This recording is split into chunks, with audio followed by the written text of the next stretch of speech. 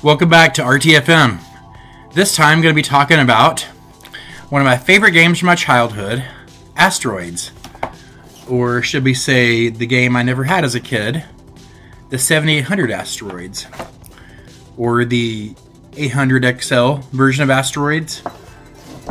And also got the Arcade Classics version of Asteroids.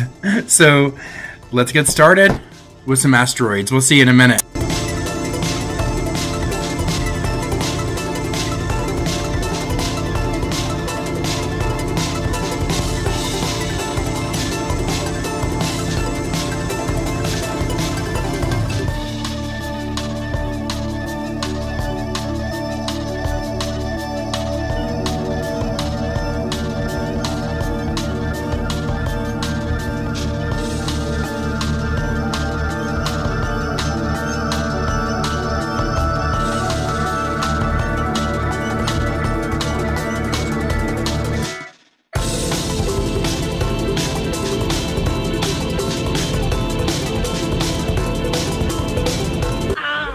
Atari Anonymous, ever since my husband Luno returned from Earth with asteroids, the new Atari home video game, he and the rest of the family do nothing but play asteroids.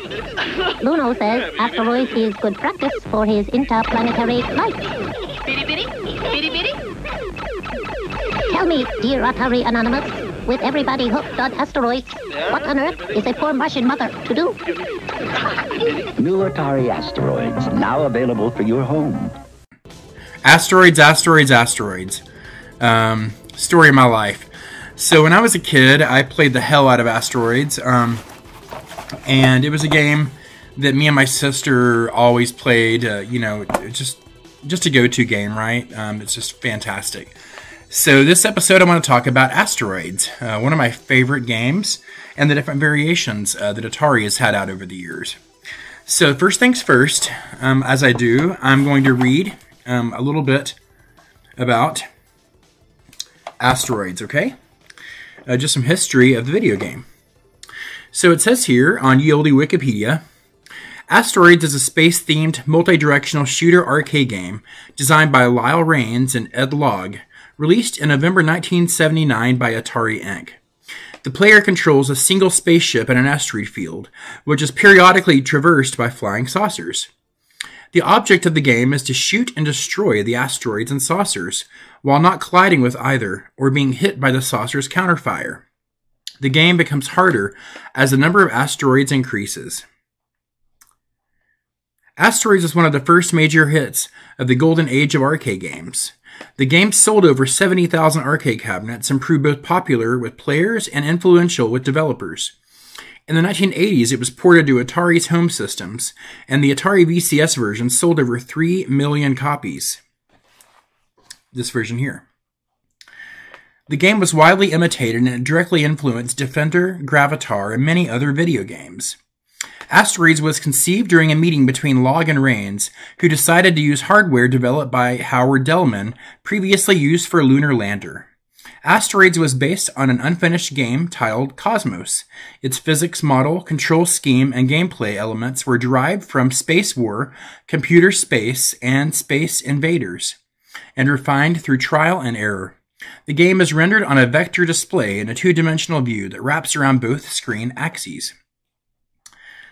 The objective of asteroids is to destroy asteroids and saucers. The player controls a triangular ship that can rotate left and right, fire shots straight forward, and thrust forward. Once the ship begins moving in a direction, it will continue in that direction for a time without player intervention, unless the player applies thrust in a different direction. The ship eventually comes to a stop when not thrusting. The player can also send the ship into hyperspace, causing it to disappear and reappear in a random location on the screen, at the risk of self-destructing or appearing on top of an asteroid. Each level starts with a few large asteroids drifting in various directions on the screen. Objects wrap around screen edges. Hmm. Gotta turn it on for you. For instance, an asteroid that drifts off the top edge of the screen reappears at the bottom and continues moving in the same direction. As the player shoots asteroids, they break into smaller asteroids that move faster and are more difficult to hit. Smaller asteroids are also worth more points. Two flying saucers appear periodically on the screen. The big saucer shoots randomly and poorly, while the small saucer fires frequently at the ship. After reaching a score of 40,000 points, only the small saucer appears. As the player's score increases, the angle range of the shots from the small saucer diminishes until the saucer fires extremely accurately.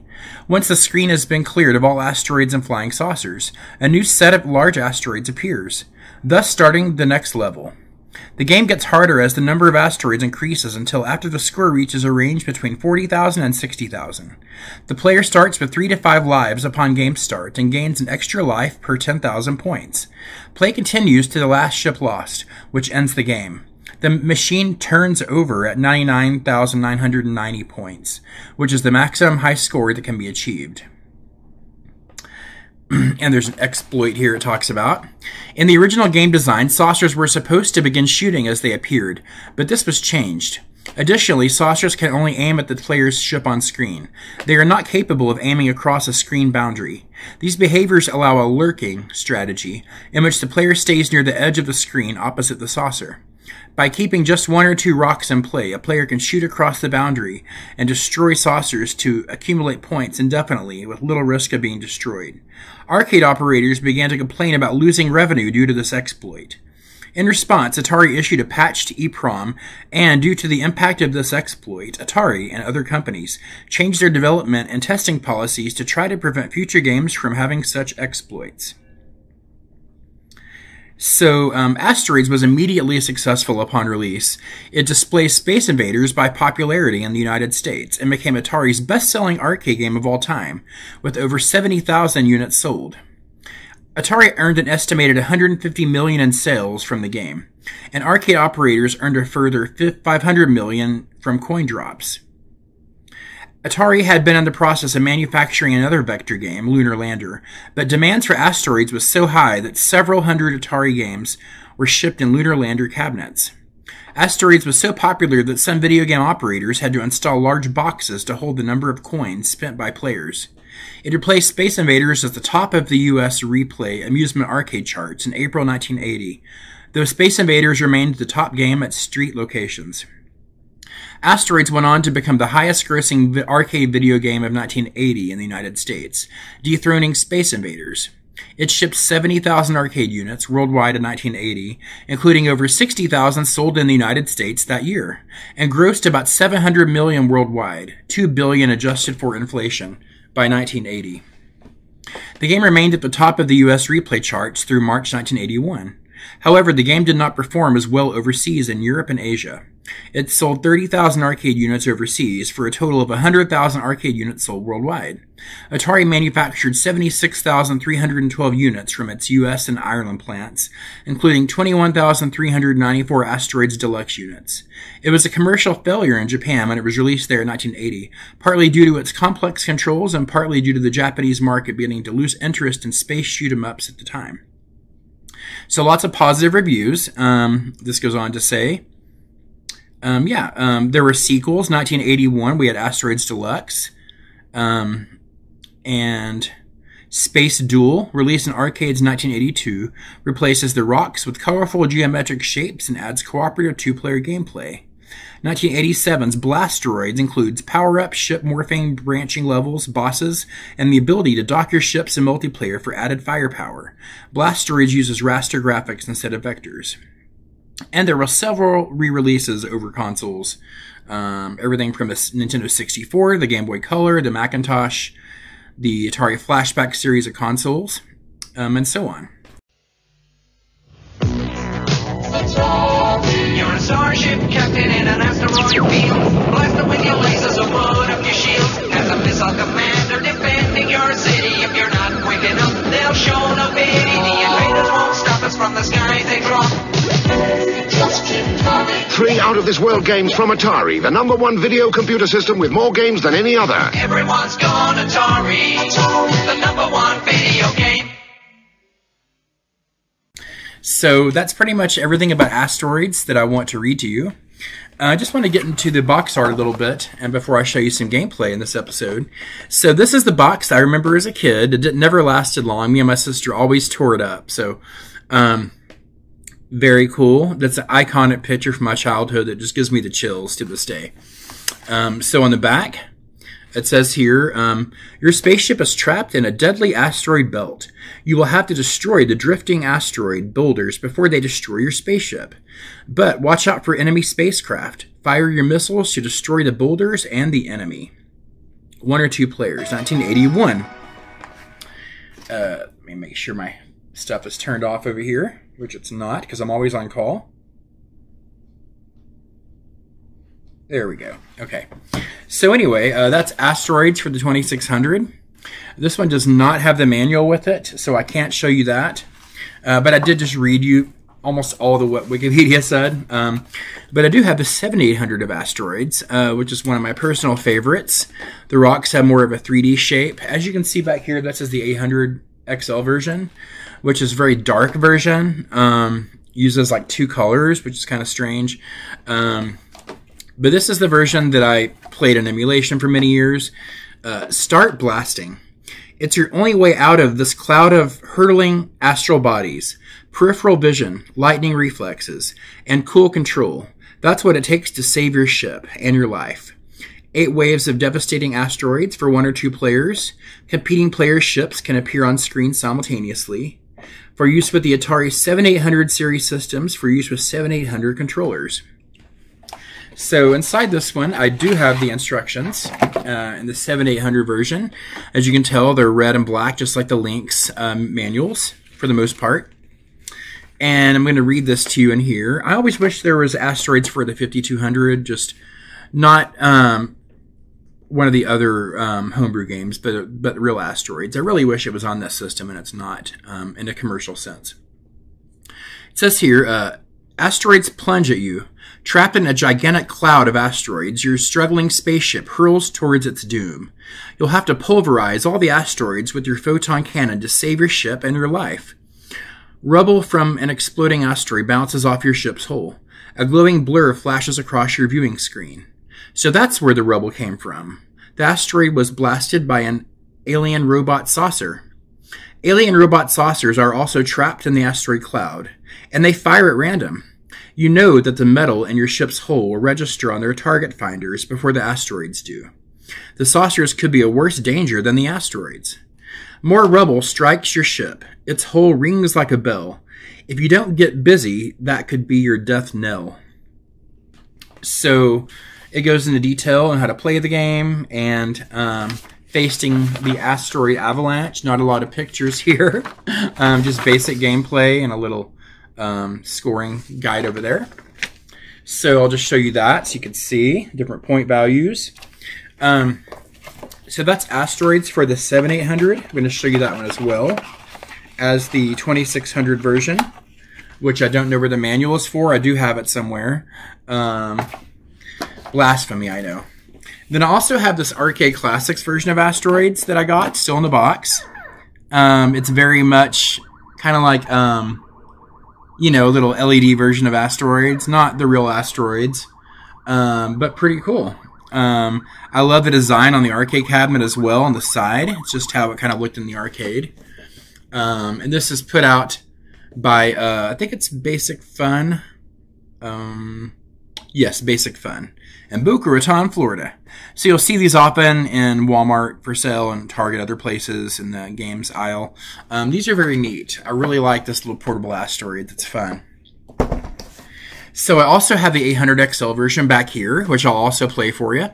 Um, and those are my kind of my four versions of asteroids I'm going to go over. Um, let me know down below what you think of asteroids if you have any crazy memories with it. Um, all I remember is being seven or eight and playing asteroids night and day. Um, I remember how the asteroids reminded me of Froot Loops for some reason because they're multicolored in the 2600 version. And sometimes I would get Froot Loops cereal and eat it while I played.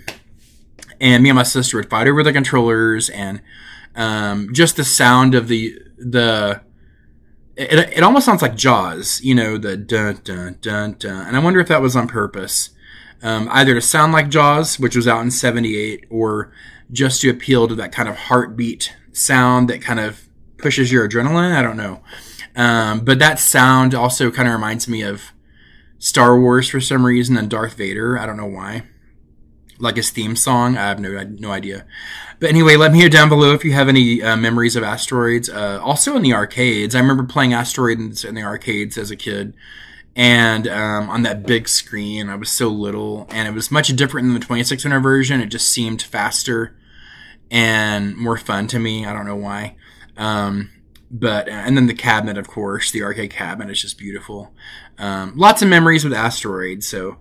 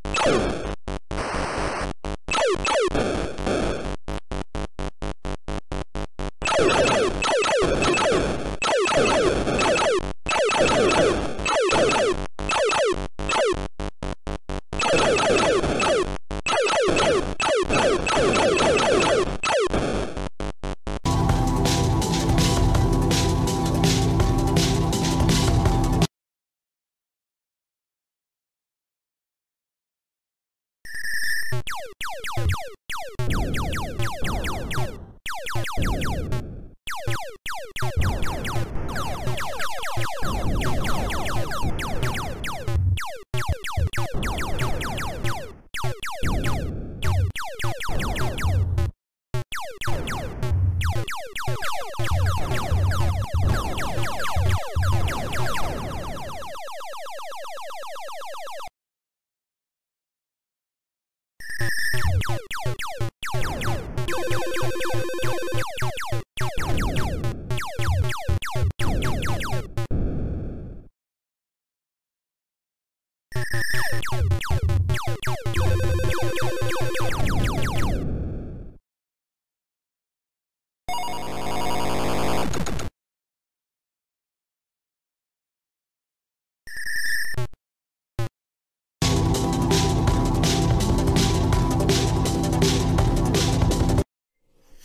So guys, I've got asteroids back here in the 800XL. I'm going to just play a little bit um, right here with you.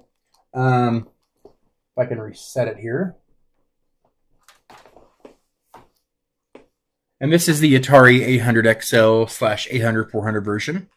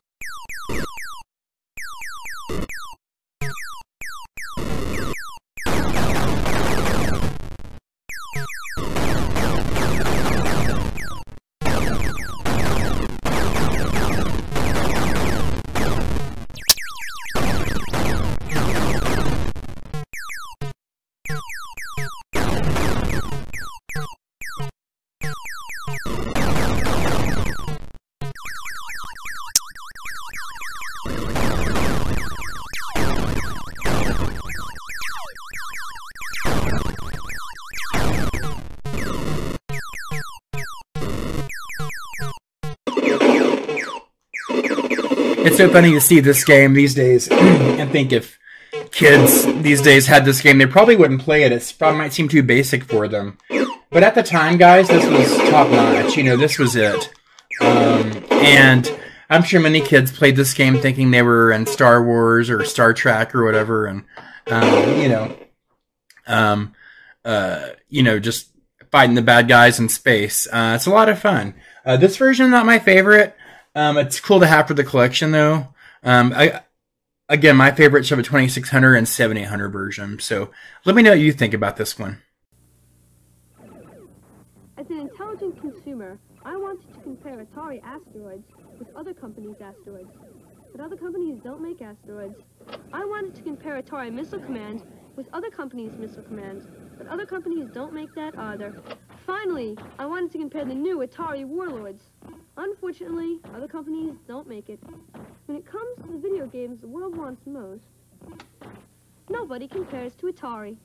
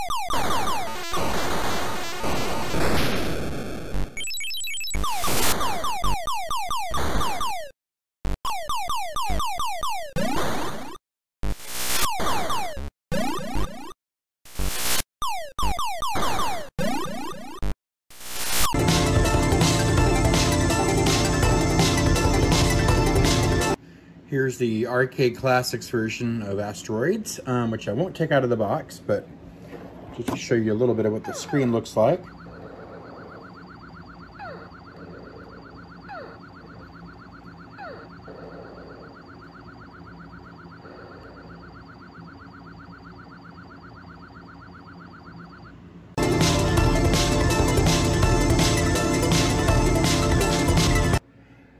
Also have my Asteroids uh, countercade.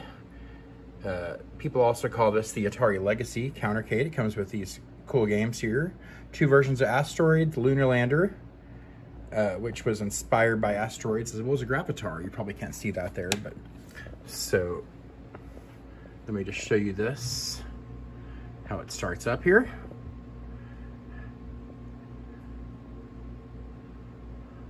And you may have seen this before, but I just want to show you all the versions of asteroids I have in my house, which is a lot. there it is. So I also have, upstairs I also have the um, Atari Legacy cabinet as well. And that's got several versions of older games on them. Um, and yeah, very cool. That's the arcade version that I showed you on the VCS.